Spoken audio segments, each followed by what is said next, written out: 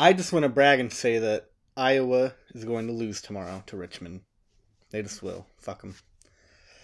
I had a whole line of jokes written up and I forgot my notes. So that kind of sucks. But it doesn't matter because, well, actually, nothing matters because of nihilism. Yay. But anyway, doesn't matter because it's March. And March is the most wonderful time of the year. You have basketball balling, buzzers buzzing, you know, refs making you cheer. It's the whole nine yards. Well, no, not nine yards. That's a different sport. It's the whole something else. Oh yeah, there's you know there's also some Cayman jacking going on. Well, not jacking. I mean that's an option, but you know that's not. I'm gonna go get my notes. This got weird fast.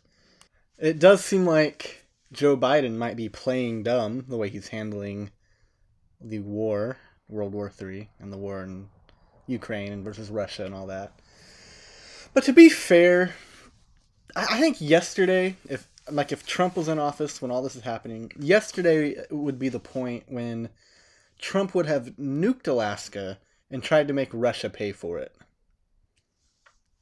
So good job, Biden. You're doing better than Trump would.